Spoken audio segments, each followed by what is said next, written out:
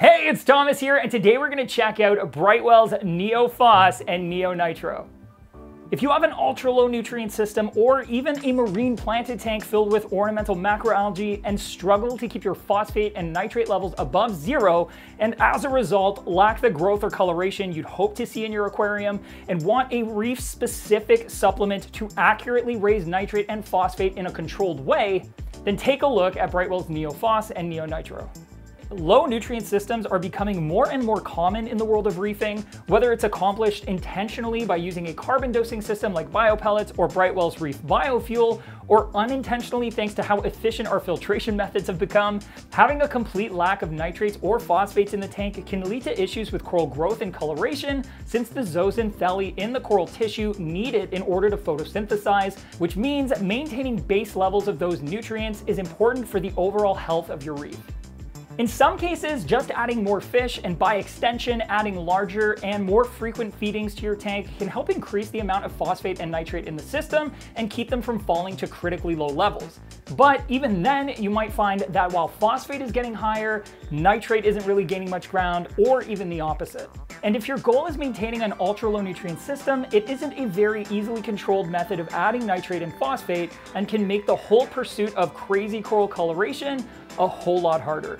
Also, having an imbalance of nitrate or phosphate can sometimes lead to certain dreaded bacterial and algal blooms like cyano or dinos. And balancing out nitrate and phosphate levels can help other desirable organisms like the ornamental or utilitarian algae in your refugium to outcompete them. Or maybe you've got a more specialized marine tank with a focus on ornamental marine plants and keeping enough phosphate and nitrate in the system is just not feasible without some specialized additives.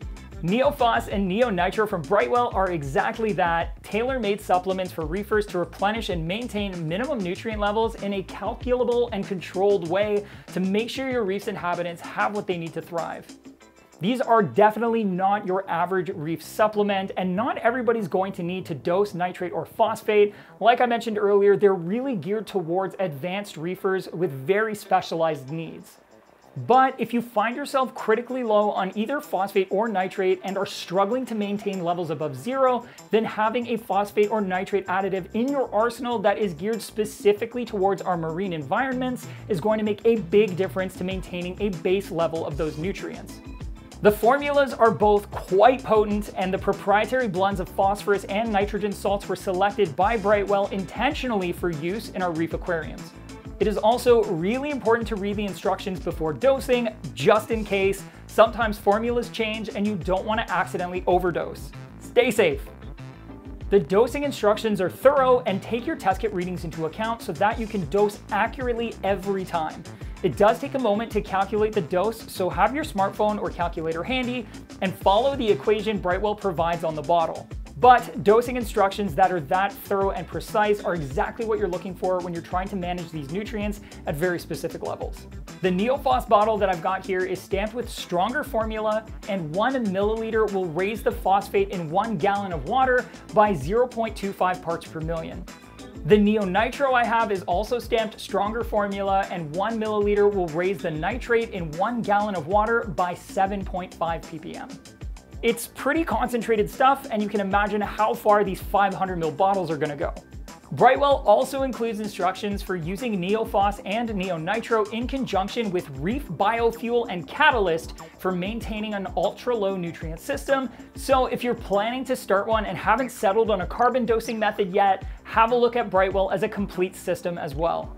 If carbon dosing to reduce your nitrate and phosphate levels isn't something you've been considering, or you just want to get a handle on your slightly elevated nitrate and phosphate levels without going ultra low, you can check out this video right here where Ryan goes over how you can manage nitrate and phosphate and shows you how they did it on the BRS WWC Hybrid Method 750.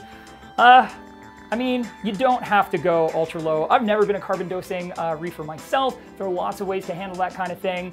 What I do think I'd like to use these for personally is uh, a marine planted tank. They're not that common. There are a lot of really nice ornamental algae.